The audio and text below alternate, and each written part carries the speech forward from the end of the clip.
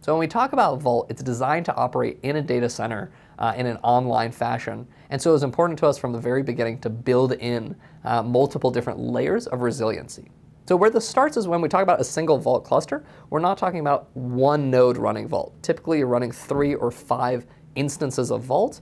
And if the and internally they're doing a leader election. So one of those three instances is active and servicing traffic.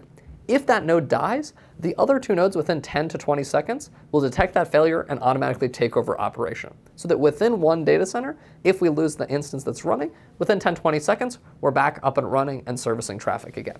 Now, what happens if we sort of zoom out from one data center and talk multi-data center, right? What if we lose the whole data center uh, that is running Vault, right? The link goes down, there's a power loss, you know, whatever might occur.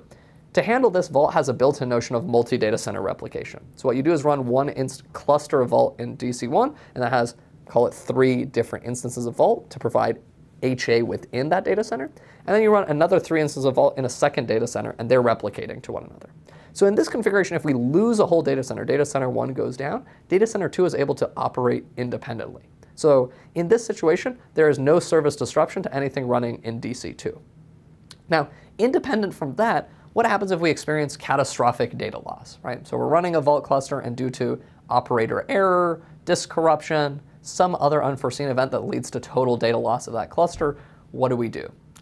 Vault has a third mode built in, which is known as disaster recovery replication. So in this mode, you're running your primary Vault cluster, again with multiple nodes for high availability, and then you have a second DR site that is acting as a real-time backup. So the moment any change is made against the primary site, that's being real-time replicated to our DR site, which is a full mirror. So now if we have a catastrophic loss of our primary site, what we can do is either promote the DR site and it takes over active operation, or we can use this as sort of a backup and restore that back into our primary site and bring it back online.